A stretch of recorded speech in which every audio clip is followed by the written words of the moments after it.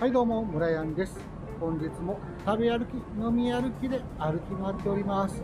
ただいま元町駅こちらからねお店のを探してさらに徘徊していきたいと思います。まあねああ週末ということでなかなかお店が見つかるかはわからないんですけどもなんとか探していきたいと思います。行ってまいります。なんとかいいお店を発見しました。表の看板に書いてあるメニューもとっても美味しそう。早速中へ入っていきたいと思います。カウンターとテーブル席があってとってもいい感じ。なんとか座ることできました。ドリンクメニューもいい感じ。美味しそう。そしてフードメニューもこれは期待できそうだ。海鮮系が結構あります。何を食べようかな。壁の方にもいろいろとメニューが。うん。カウンターにはおばんざいも。まずはいつも通りハイボールから。乾杯。お疲れ様でございます。うん、うまい。まずは、サバの木寿司から。こういうのもね、お酒のあてにはね、最高ですからね、醤油をちょこんとつけていただきます。うん、美味しい。まあ、そのままでもね、十分ね、美味しいんですけどね、いろいろとね、薬味があるんでね、いろいろ試してみたいですよね。この生姜をね、ちょっとつけて。うん。こういうのもいい。うまいハイボールにも合う。きっと日本酒の方がもっと合うかも。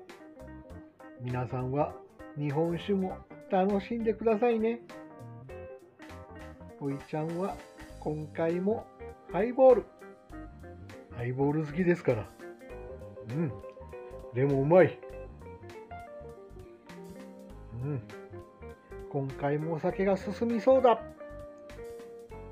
そして、寿司屋の厚焼き卵。どうですか？結構ボリュームもね、たくさん入ってて。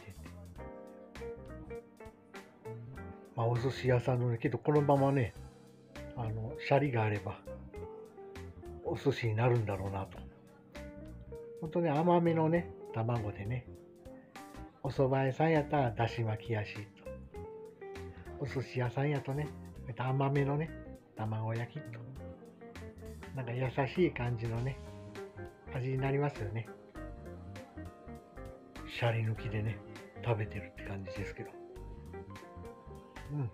こういうのもね、お酒のあてになるからね、いいんすよね。うん。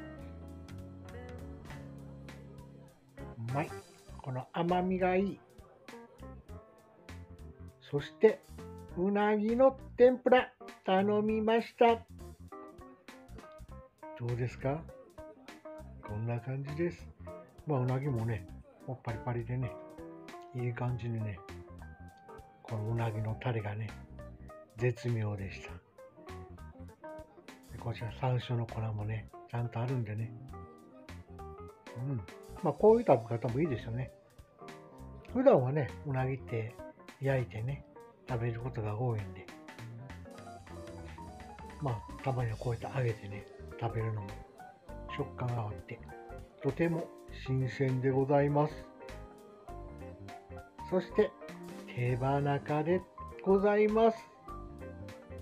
これもうまそう。そして、ハイボールおかわりしてます。さあ、こんな感じ。ほんとね、骨からね、スルッと取れるんでね、食べやすいですし、もうこの骨の髄までね、食べ尽くしてやろうと。あ、レモンもね、振っとこうっと。うん。こういうのもね、美味しいですからね。そのまま食べてもいいし、レモンを振ったりとかね、いろいろ自分なりの楽しみをね、探せるのがね、こういった居酒屋居酒屋の醍醐味でございます。うん、決まりがあってないようなもの、自分の好きなように飲めばいい。そして海鮮だらけの太巻き。頼みました。むっちゃでかかったですよ。もうはみ出してますからね。こんな感じで。すげえボリュームだって。うんね、このわさびをね、こうつけてね。こいつは醤油はちょこんとだけです。うん。うん。ガブリと。なかなかね、一口ではね、厳しかったんですけど、無理やりお口に放り込みました。うん。食べ応え十分。しかも、うまし。ねこれがね、4つもついていると。うん。すごいよね。こういうの、ボリュームがあって。うん。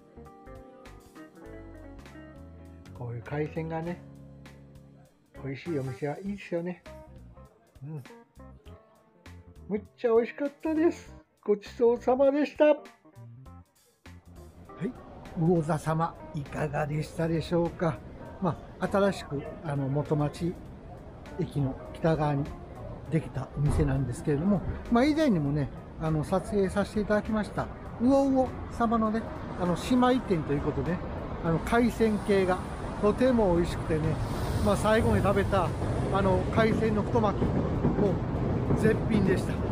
まあ、今日はね、あのお客様がね、ひっきりなし、まあ、オープンしてね、まだ間もないんで、お客様がもう、どの席もね、いっぱいで、もう合間を、合間をね、取ってね、あ、席が空いたって、ちょっと取らせていただいて、あ、空いたと思って、だから、まあ、全体的なね、雰囲気はね、ちょっとお見せすることはできなかったんですけれども、もう本当にあの、カウンターと、えー、テーブル席があって、とてもね、活気のある。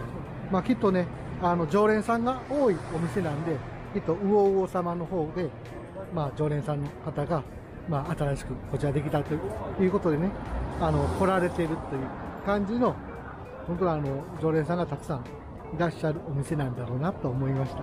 まあ、新長田の方でね、以前行かせていただいた際もね、とてもね、あの、まあ、ご近所の方が来られて、アットホームな感じのお店で、とてもね、雰囲気のいいお店です。雰囲気も良くて、しかも美味しいということないと思います。まあできたらね、まあ本当にね、えー、JR の元町駅からもう北側歩いて、1分ぐらいで、もうスッと出たらすぐ来れるところにありますんでね、あの、来ていただけたらなと思います。それではまた次回の動画でお会いしましょう。チャンネル登録もお願いいたします。